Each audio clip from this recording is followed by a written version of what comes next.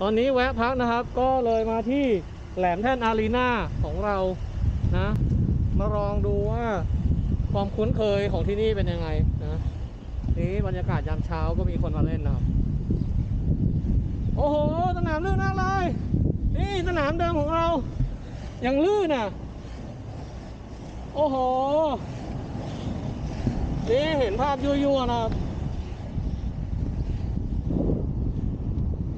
ก่อนจะไปถ่ายรอบสุดท้ายโอเคเดี๋ยวเราถ่ายตอนกลับแล้วนะกลับไปที่รถก็จะเป็นอันเสร็จพิธีสำหรับวันนี้นะ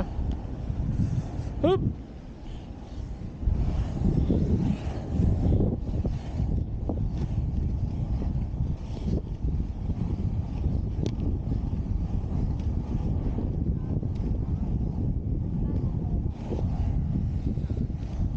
โหมันมากเลยที่นี่เฮ้ยเดี๋ยวไปบายบายตอนนี้เดี๋ยวพรุ่งนี้เราเจอกันใหม่ว่า จะไปโผล่ที่ไหนนะตอนนี้ต้องผูกโผล่เหมือนนินจาแล้ว